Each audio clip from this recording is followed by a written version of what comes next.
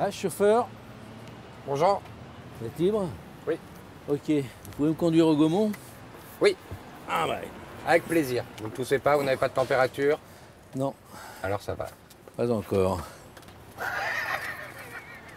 Optimiste. Gaumont-Valenciennes. On y va. Paf, c'est parti. Fermeture des portes, destination encodée. C'est parti. Oh, c'est parti avec Jimmy.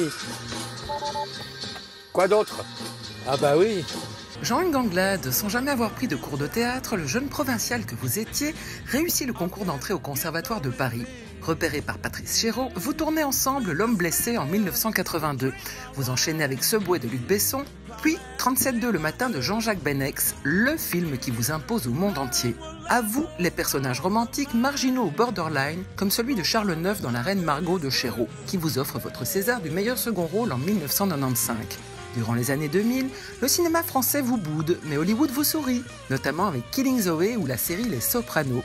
Vous êtes revenu à l'avant-plan en télé dans la peau du flic torturé de la série Braco, tandis qu'au cinéma, vous avez dernièrement mouillé votre maillot dans le grand bain de Gilles Lelouch. Votre interprétation du chanteur loser accroché à ses rêves pour ne pas couler vous a remis à flot. Bienvenue à bord, Jean-Hugues Anglade. Une fois que votre carrière commence, vous, Jean-Hugues Anglade, elle commence quoi.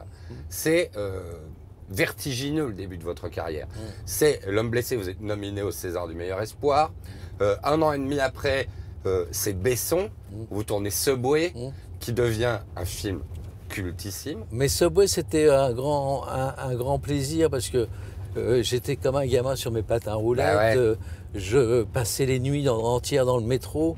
À l'époque, moins maintenant, mais à l'époque, j'adorais tourner la nuit. Hein Et, euh, et, je, et je me souviens, euh, j'aidais les mecs à apporter le matériel parce que moi je roulais et je me, fatigue beaucoup moins, je me fatiguais beaucoup moins que les, que les Que les autres.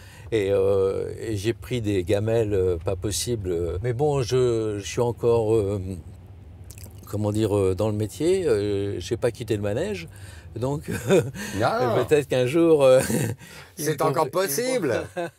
On continue hein, quand même. Oui, oui. L'homme blessé, Subway en 85, 86. Là, vous cassez la baraque, évidemment, vous devenez une superstar avec 37 de le matin, Philippe Dian d'un côté, euh, Benex évidemment euh, de l'autre. Qu'est-ce qu'il a de particulier 37 de le matin pour avoir à ce point touché une génération? Je pense qu'il avait, il avait tout, tout pour lui.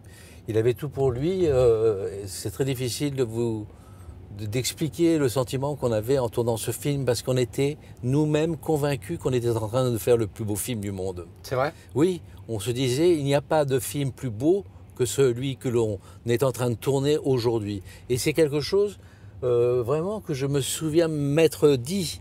Et, euh, parce que on vivait tellement les choses au premier degré, on n'était tellement pas dans le cinéma finalement, tout en étant dans les codes du cinéma, c'est-à-dire on avait, on tournait avec la musique du film Ah, déjà écrite par Gabriel Yared.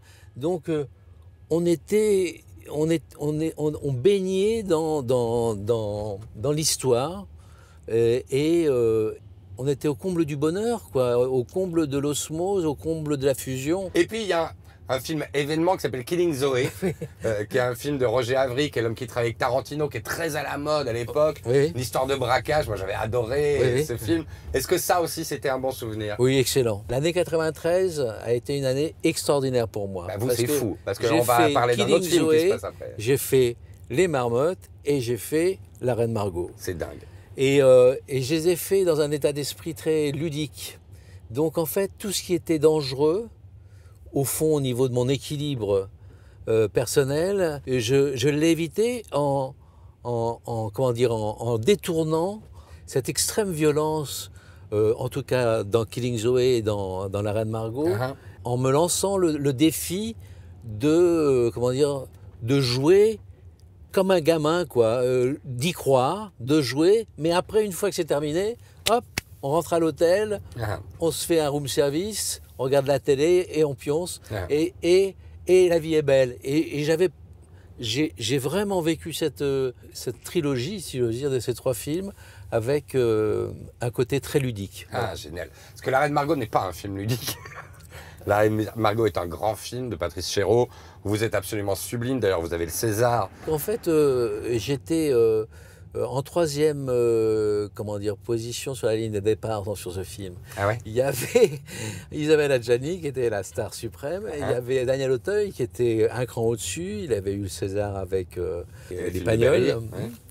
Et moi j'ai dit je vais être l'outsider de ce film et je vais être la surprise du film.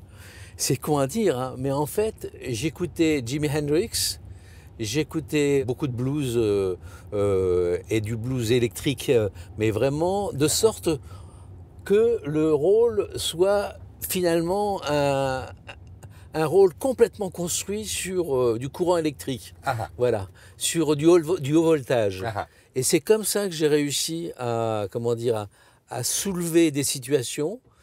Euh, Cette énergie, vous savez, comme les, les gars qui soulèvent les bagnoles, là, qui font des concours, j'avais une force, une force et une détermination qui fait que finalement, à l'arrivée, euh, je n'avais plus peur de rien et je n'avais plus peur de ce rôle.